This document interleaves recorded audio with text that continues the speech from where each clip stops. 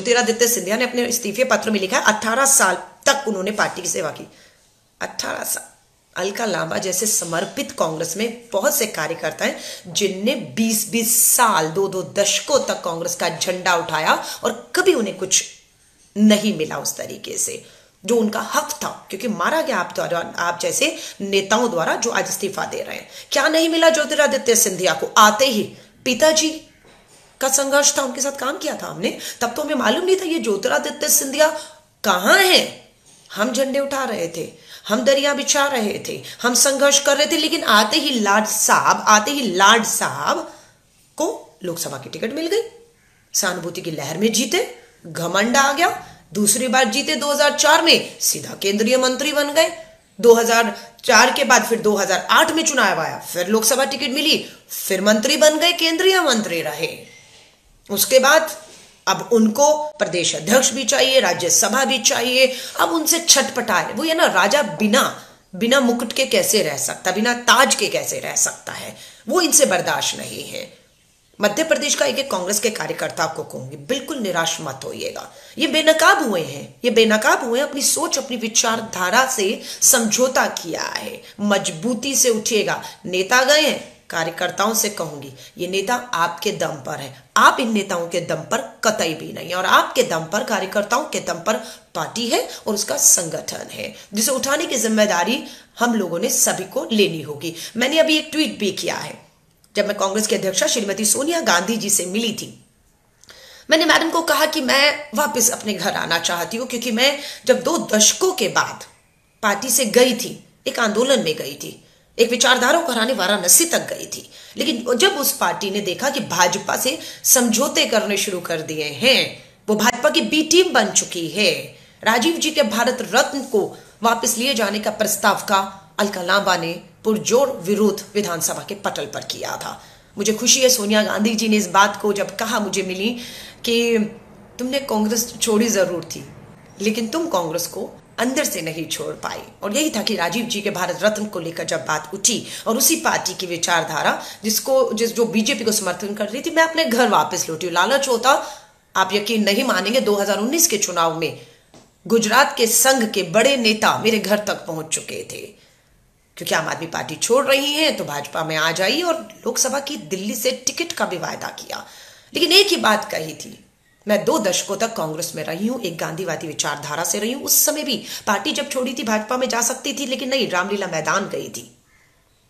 आज भी जब आम आदमी पार्टी को भाजपा की बी टीम बनते हुए देख रही हूँ तो उस समय भी भाजपा में नहीं, किसी और दूसरे दल में नहीं।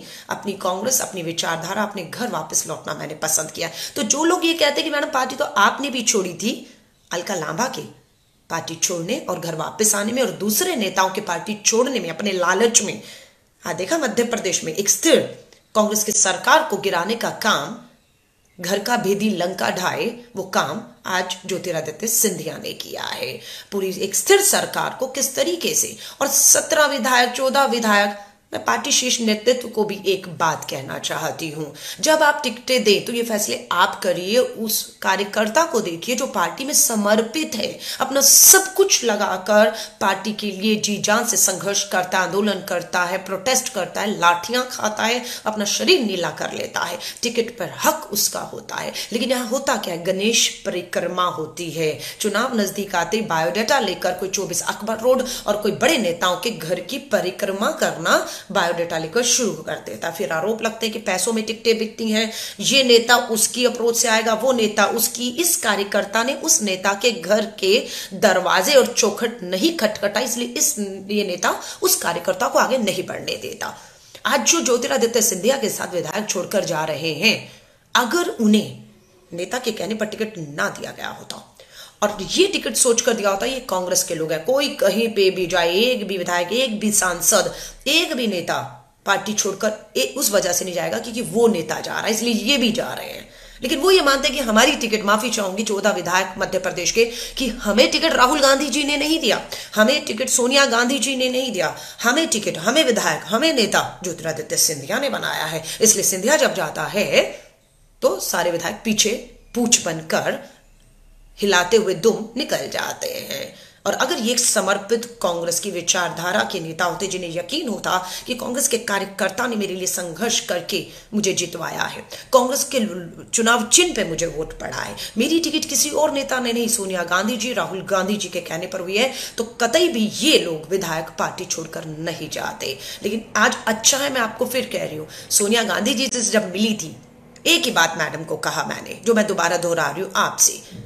कि मैडम, आपको अब कड़े फैसले लेने होंगे। और खासतौर से राहुल गांधी जी से सब अपील करते हैं। ये भाजपा को आपसे खतरा है, इसीलिए हर बार हमला आप पर किया जाता है, राहुल गांधी जी, प्रियंका गांधी जी पर किया जाता है।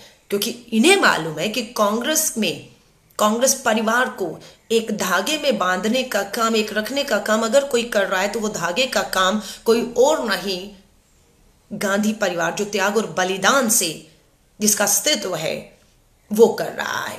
आज वो कांग्रेस के परिवार को एक रखने में वो धागा जो है, आपको कभी नहीं दिखेगा। लेकिन वो माला को एक रखने का काम, देश में दस साल मनमोहन सिंह जी के नेतृत्व में सरकार चलाने का काम, सोनिया गांधी जी के नेतृत्व में वो ये भूलना नहीं चाहिए। आज जो लोग मांग करते हैं कि किसी और को नेतृत्व सौंपिए तो मुझे लगता है एक कांग्रेस में लोग कहते हैं कि ये अपने पास मुट्ठी में सत्ता और सब कुछ रखना चाहते मैं आपसे पूछना चाहूँ, क्या मनमोहन सिंह जी देश के प्रधानमंत्री दस साल तक रहे? गांधी परिवार से आते हैं? नहीं आते हैं। क्या प्रणब मुखर्जी देश के राष्ट्रपति बने? कांग्रेस गांधी परिवार से आते हैं? नहीं। क्या प्रतिभा देवी सिंह पाटिल देश की पहली महिला राष्ट्रपति बनी? ये फैसला सोनिया गांधी जी का था। क्या वो गांधी परिवार से आती है? जी नहीं। ऐसे कितने नेताओं के नाम बता सकती हूँ जो प्रधानमंत्री बने, राष्ट्रपति बने, उपराष्ट्रपति बने, गवर्नर, राज्यपाल बने, ये कोई भी कांग्रेस के परिवार से, गांधी परिवार से नहीं आता है। इस परिवार का सिर्फ़ त्याग और बलिदान है और एक परिवार एक सूत्र की तरह कांग्रेस को एक रखे हुए है।